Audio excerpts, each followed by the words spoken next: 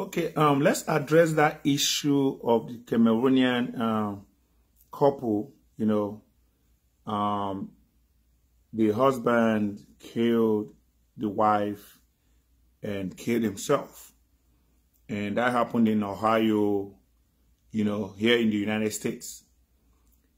The thing with me don't see for this matter of husband killing wife and wife killing husband and somebody stabbing wife and somebody stabbing husband.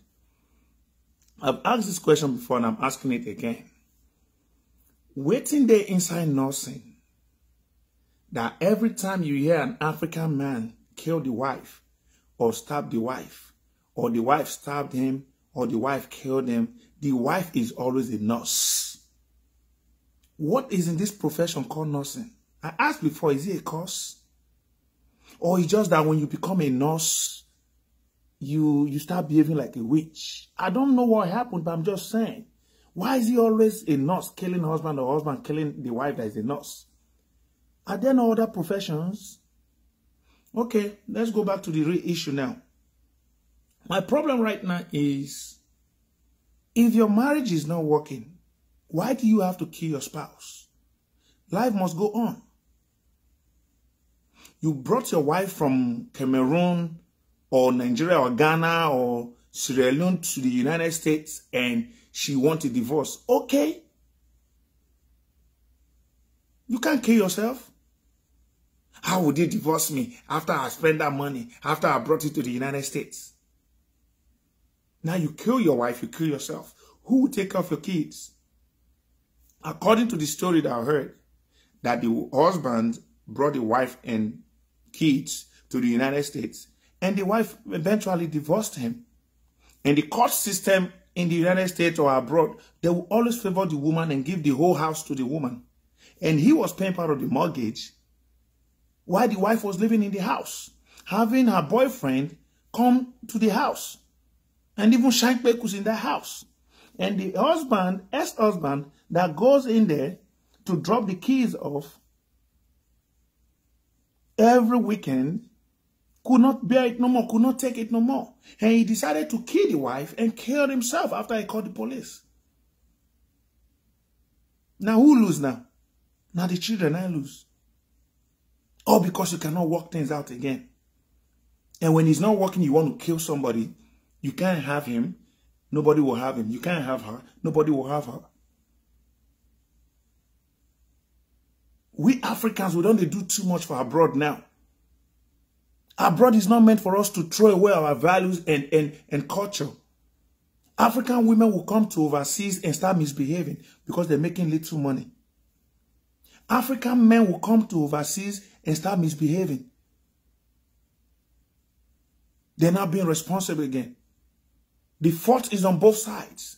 We've lost it all, all because of money that we've come here to see abroad. You could see an Indian woman making $300,000 every year. She's still very, very married. She's still happy with the husband. She still respect the husband. African woman will come America like this. The moment she graduate as a nurse, start to make $80,000 as a nurse, you go to disrespect the husband. Any little thing she won't pack out. It's like this nursing thing in the United States that I know. It's like this nursing thing. The women in the nursing field, it's like they advise each other to divorce. It's like when somebody come to them and say, me and my husband, we are having issues. The first thing they will tell her is, leave, her, leave your husband alone. Pack out of the house.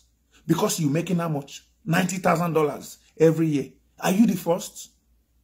How much would you even make that's equal to the value that you put in your kids by raising your kids with your husband? Which man out there will raise your kids the way they should be raised? Which woman, woman out there will raise your kids the way they should be raised? Any little thing you people want to pack out of the house because you're making a little change. You see a nurse, a man will bring the wife to the United States. She will start making 90,000 every year. Plus over time, she want to kill herself. She doesn't even have time at home to cook. She doesn't even have time for the husband. Yet she want to go buy expensive car, Mercedes Benz. Because her friends are driving Mercedes Benz. She will not sleep in the house because she's making overtime. Husband will talk when you not respect your husband because you're making money.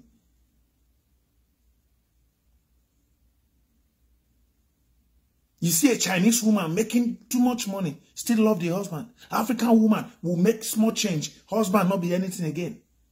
The husband is useless now. It's annoying. What is even the issue now? Tell me, what is the issue? Vanity upon vanity. You making money more than your husband, and so what? Would you take that money to grave? You will die and you will decay. Your husband will die, he will decay. Everybody living in fear. There was a guy that was supposed to buy insurance, life insurance. And the dude that was selling the life insurance told him to put somebody that is the next of kin. Only for the guy to look at me and was asking me, who should I put? Your wife now. He's scared to put the wife as the next of king for his own life insurance. That tells you how people don't even trust their spouse anymore. He had to put his first child because he doesn't even trust the wife. People buy life insurance, they don't even tell their spouse anymore. Because people now, wife, they kill husband, husband, they kill wife. Marriage is not the marriage we used to know. Everything now is about money. Who has more money? Husband competing with wife, wife competing with husband. Back in the day, they'll tell you, um, uh, I'm having issue with my husband. They'll tell you, go and settle it. Now people will tell you to leave, to move out of the house. Like I said one time, one man closed from work, only for him to get home. The, the wife is no more there. The wife has moved out because she's making little change as a nurse. Is nursing a cause? A lot of women now, because they're working, they don't even want to stay in their husband's house again. A lot of you women making money now. When was the last time you cook for your husband? You go order for food. When was the last time you wash your husband's clothes? What was the last time you sweep the house? Everything now is about money. The kids are the ones suffering it. You as the wife in the house, you don't even have time for your, even your daughter don't even know what's going on. As a woman, you don't even teach them anything because you're busy chasing money over time. Everything is shattered, scattered in the house.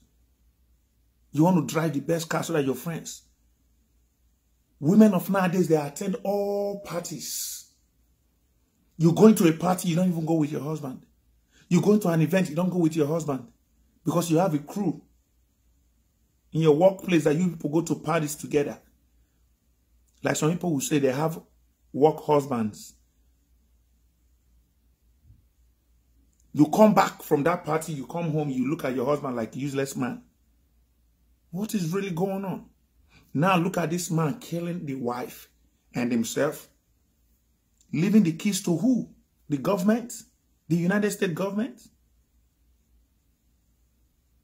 You brought your wife from Cameroon.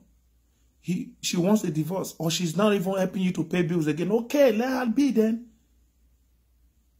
A lot of you men will empower your wives and you don't want to empower yourself. You send your wife to school. She has BSc. She has masters. She's going for PhD. You, you are a dropout. Who does that? Stupidity. You empower your wife. Your wife is everything. You, you look handicapped and crippled. Can't you go to school? Is it a crime to be a nurse?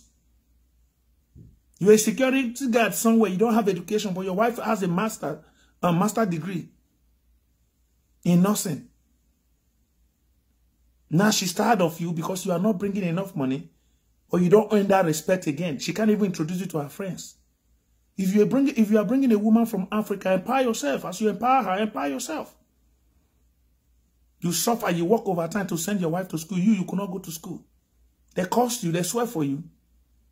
Only for you to turn around. Nobody can have her. If you don't have her, you kill this woman. It's sad though. African men, open your eyes. Stop living off your wife. Don't send your wife to school to help you pay your mortgage, to help you feed the kids. If she does, if she wants to, fine. If she doesn't want to, that's cool. Not for you to kill her. Enough is enough with all this nursing, nursing, nursing. No una dey. Nonsense.